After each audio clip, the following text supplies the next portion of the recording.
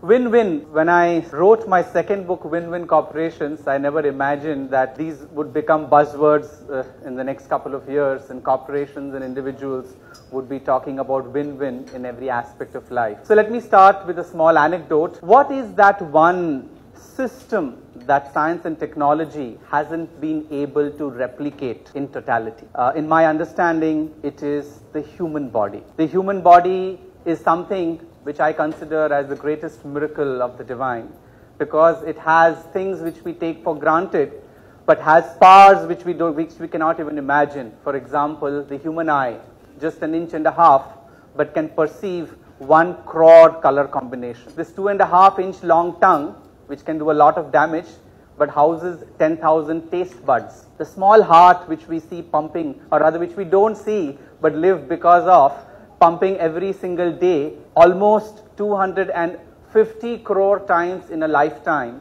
and pumps 200 crores of blood and our arteries are silently rushing through the blood across our body almost 12,000 miles every single day. But what is important is to look inside and see what is it that we can learn from this human body.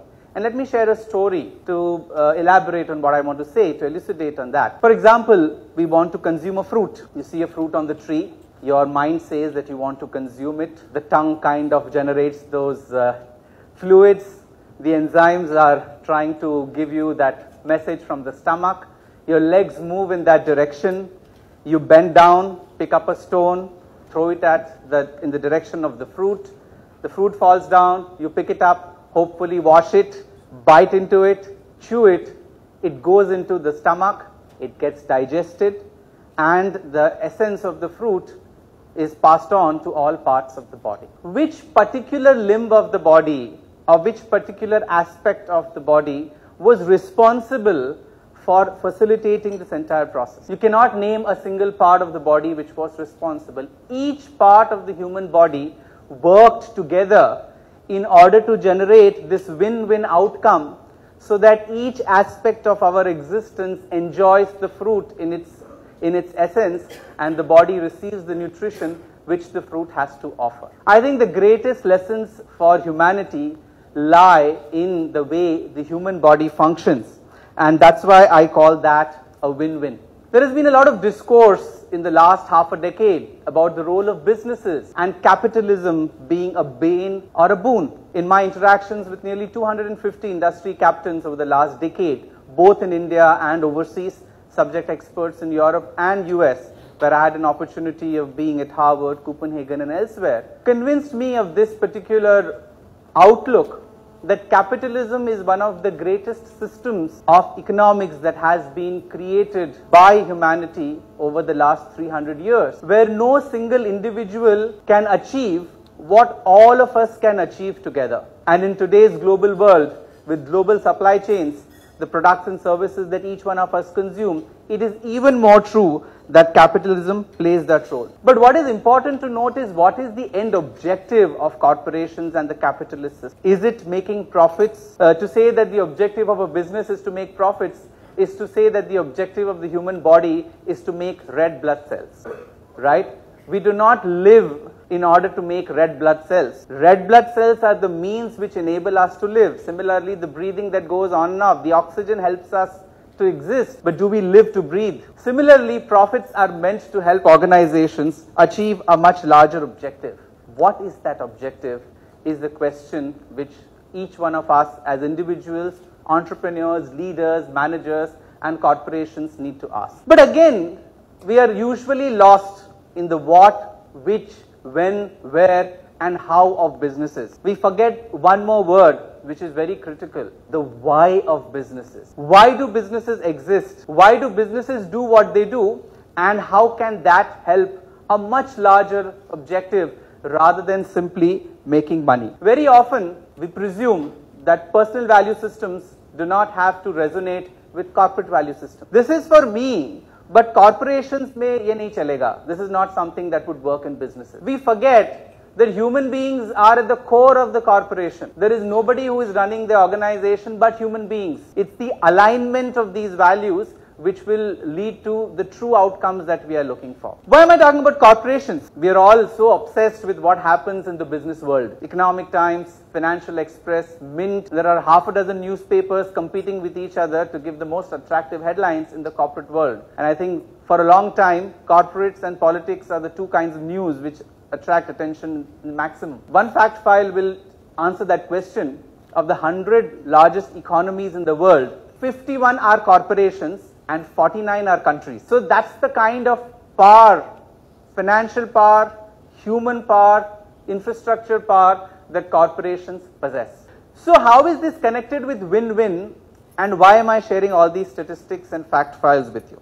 I think if corporations make a beginning, we can make a lot of difference. I'd like to share some examples where win-win decisions led to great outcomes, not only for the companies, but for all their stakeholders. For long, we've always been taught that corporations run by the economic principles of zero sum. You win, I lose, or I win and you lose. How can both of us win, right? Either of us has to have a better opportunity than the other. So let me share some examples of how corporations have designed these innovative ways.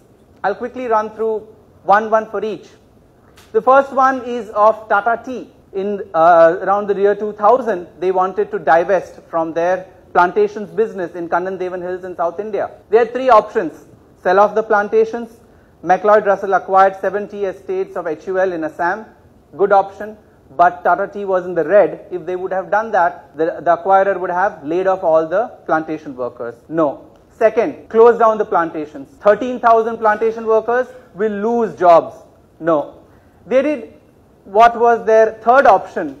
They divested the ownership of these plantations to the employees and the employees now became the suppliers of the company. In a matter of half a decade, the plantation business turned around. But what is important is during this period, Tata Tea was having an annual commitment of 15 crores in the well-being of these employees who were now no longer their employees. They were their suppliers. Should we continue with these kind of investments or should we stop? the Tatas decided that come what may, we will continue to contribute to their health, education and skill development even though employees have become suppliers. Another example, customers. How did Bharat Petroleum start its Pure for Sure campaign? Today we don't even talk about it much because it's taken for granted. But the Pure for Sure campaign was a win-win approach in order to ensure that the customers get good quality and the right quantity at every petrol pump. A series of processes, technological innovations and interventions led to the customers getting the right quality and quantity but also led to a rise in the profits of BPCL. HDFC Bank, mid 1990s, started the core banking solution. At that time, SBI and other public sector banks had a particular system. You are the customer of a particular branch, not of the bank. So you can go only to that branch and get your transactions done. The core banking solutions made all of this a centralized process and you became a customer of the bank. The branches became sales and service outlets and the focus of the frontline managers was not uh, the drudgery of opening bank accounts or giving you new checkbooks and passbooks, but to see what best they can do for the customers. The efficiency and the innovation led to a direct impact on the bottom line, win-win.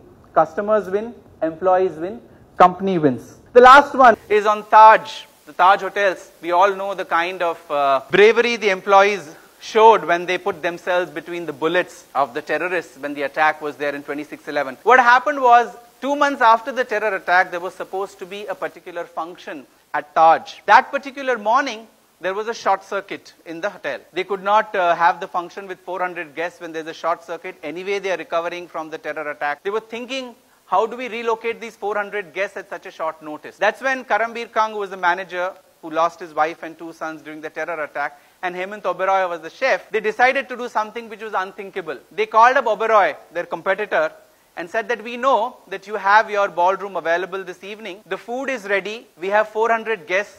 This was the problem we had this morning.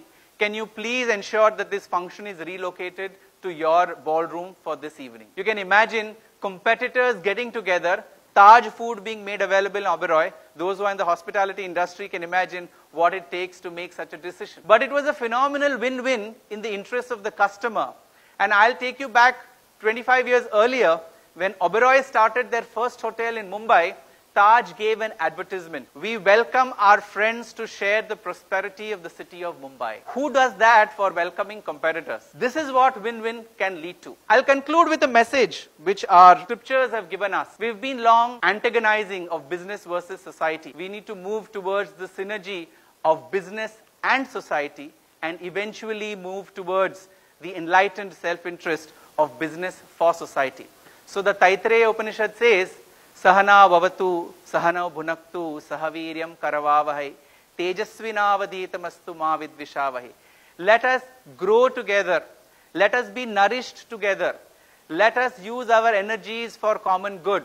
And let us protect each other for the larger interests. I think that is the true win-win which has guided India for several millennia and I'm sure it will in the future too. Thank you.